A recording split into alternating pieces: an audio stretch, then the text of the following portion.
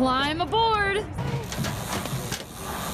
Listen, folks, I've been biking my brains out on a pretty non-traditional bike.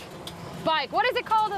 The trolley. The trolley bike. The trolley bike It's officially downtown. If a bicycle and a go-kart had a baby, you'd get a trolley bike. Seating up to 14 riders, the bike debuted tonight at First Friday Art Walk.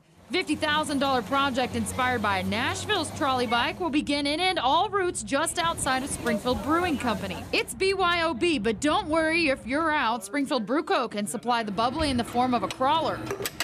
Crowlers are a 32 ounce can of beer that, that we make right in front of you. This summer's version of a party bus paid tour start April 15th. You can snag a seat on this sweet whip for 35 bucks. Get some random people together and hop on the trolley bike. Or a group could rent out the trolley bike for around 350 depending on the day of the week. But don't think for a moment pedaling on this bad boy will leave you unnoticed. Everyone is just like, what the heck is that thing? And they usually are kind of got their jaws dropped and we just smile and wave and ring our bell and The bike's been here since Monday, and I bet it's had its picture taken more times than, uh, than a candidate for presidency right now.